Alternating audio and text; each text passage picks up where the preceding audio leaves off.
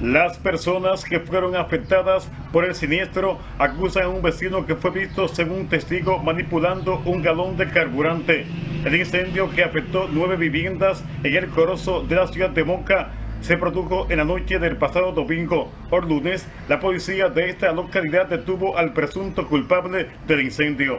En otra información, la policía de Moca apresó al nombrado Robert Bautista Dina como presunto autor del asesinato de Slady Pérez Sarcedo, la joven de 20 años de edad encontrada muerta en Villatrina. Un familiar de la fallecida describe al ciudadano detenido. Porque la policía está trabajando, así que me gusta que cuando hay un caso así, la policía actúa como ellos actúan en este caso eh, eh, en Villatrina.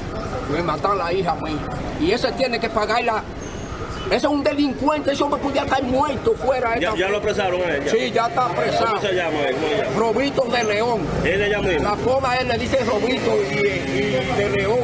¿Cómo se dan cuenta que fue que la mató a la joven? ¿Cómo se perdió? Es que, porque sí, porque la, la cámara lo a él, la, cámara, a esa hora de la noche. ¿A qué hora fue?